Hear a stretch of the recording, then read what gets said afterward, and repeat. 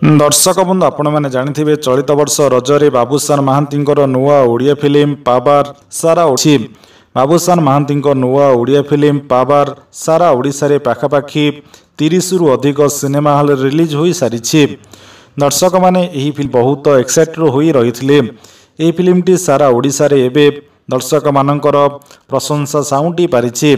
ଦର୍ଶକମାନେ ଏହି ଫିଲ୍ମଟିକୁ ଦେଖିବା ପାଇଁ ଲମ୍ବା ଲାଡ଼ିରେ ଠିଆ ହେଉଛନ୍ତି।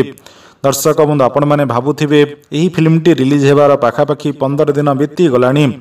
ପନ୍ଦର ଦିନ ଭିତରେ ବାବୁସାନ ମହାନ୍ତିଙ୍କ ନୂଆ ଓଡ଼ିଆ ଫିଲ୍ମ ପାୱାର କେତେ କୋଟି ଟଙ୍କାର ବିଜନେସ୍ କରିସାରିଛି। ଦର୍ଶକ ବନ୍ଧୁ ଯାହା ସୂଚନା ମିଳିଛି ବାବୁସାନ ମହାନ୍ତିଙ୍କ ନୂଆ ଓଡ଼ିଆ ଫିଲ୍ମ ପାୱାର ପ୍ରଥମ ସପ୍ତାହରେ ପାଖାପାଖି ଏକ କୋଟି ଟଙ୍କାରୁ ଅଧିକ ରୋଜଗାର କରିସାରିଛି।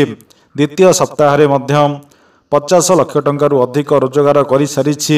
ବାବୁସାନ ମହାନ୍ତିଙ୍କ ନୂଆ ଓଡ଼ିଆ ଫିଲ୍ମ ପାୱାର। ଏବେ ବି ହାଉସଫୁଲ୍ ଚାଲିଛି। ବାବୁସାନ ମହାନ୍ତିଙ୍କ ନୂଆ Odia film power.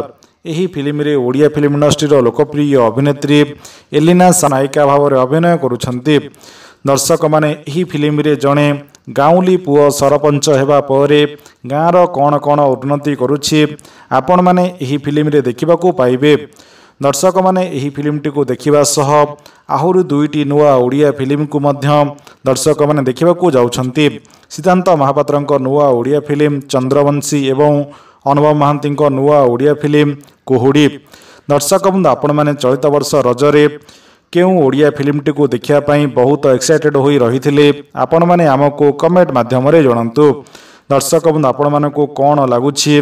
Odia film ଇଣ୍ଡଷ୍ଟ୍ରିର ସୁପରଷ୍ଟାର ବାବୁସାନ ମହାନ୍ତିଙ୍କ ନୂଆ ଓଡ଼ିଆ ଫିଲ୍ମ ପାୱାର ପାଖାପାଖି ଦଶ କୋଟି ଟଙ୍କାରୁ ଅଧିକ ବିଜନେସ୍ କରିପାରିବ କି କରିପାରିବ ନାହିଁ ଆପଣମାନେ ଆମକୁ କମେଣ୍ଟ ମାଧ୍ୟମରେ ଜଣାନ୍ତୁ।